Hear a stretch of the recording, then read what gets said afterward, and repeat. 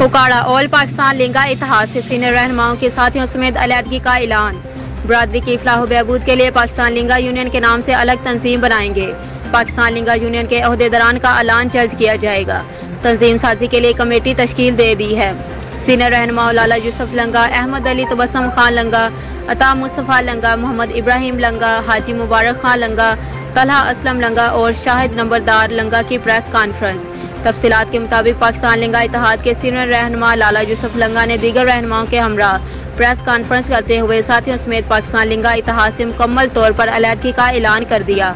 रहनुमाओं के मुताबिक चंद अफराद पाकिस्तान लिंगा इतिहाद को अपने ज़ाती मफादात के लिए इस्तेमाल कर रहे हैं, जिस वजह से अलीहदगी का ऐलान किया है। लाला यूसुफ लंगा ने दीगर रहनुमाओं के हमरा पाकिस्तान लिंगा यूनियन के नाम से बरदरी की फलाह बहबूद के लिए नई तंजीम बनाने का ऐलान भी किया है।